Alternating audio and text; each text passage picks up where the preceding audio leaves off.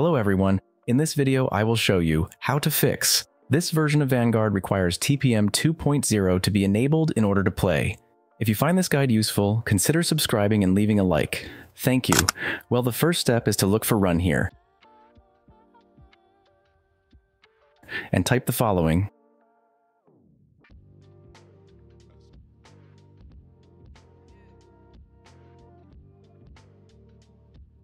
Then click here.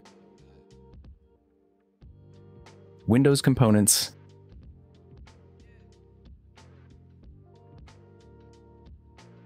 and now click on BitLocker. Then click here.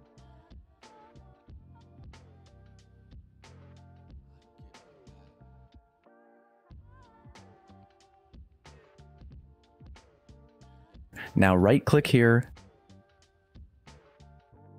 edit. Set it to enabled. And we put all this just as I have it.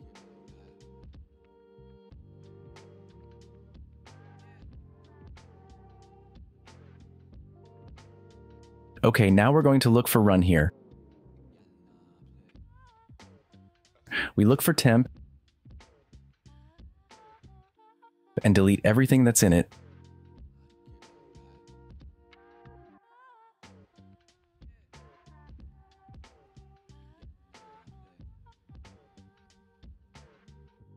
Open run again and search for percent %10%.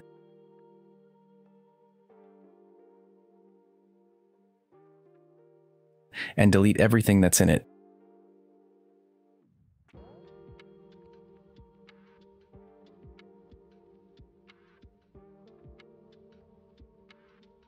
Well, now we will go to the BIOS. In my case, I access by turning off the PC and pressing the F2 key several times, but it may not be like that in your case. Just look for your board and how to access the BIOS with it.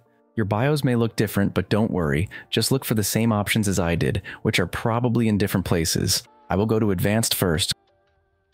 Click here. Security device support on enabled. Then go to Security and set this to enabled. And set Secure Boot customization to Custom.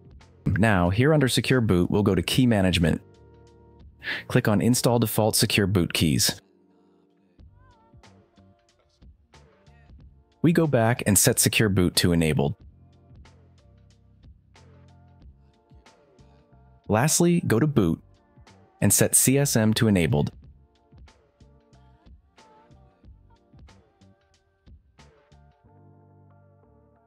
Exit, and save changes.